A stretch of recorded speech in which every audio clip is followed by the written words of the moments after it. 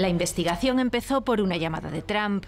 En el estado de Georgia perdió las elecciones por poco y decía que se las habían robado. Llamó al encargado de supervisarlas y le pidió que encontrase 11.780 votos más a su favor. En dos años y medio de investigación, una fiscal de Georgia ha recopilado más llamadas y correos y acusa a Trump de participar en una conspiración criminal junto a 18 personas más, entre ellas su antiguo jefe de gabinete en la Casa Blanca y su abogado Rudy Giuliani.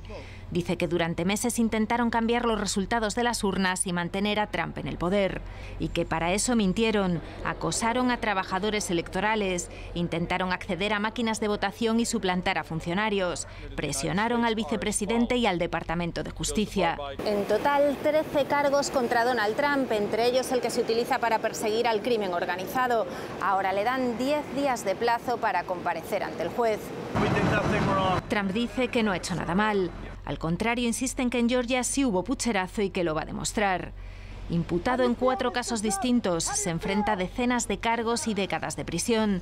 Los juicios pueden llegar en plena campaña electoral y él es el favorito para ganar las primarias republicanas y volver a enfrentarse a Biden por la Casa Blanca.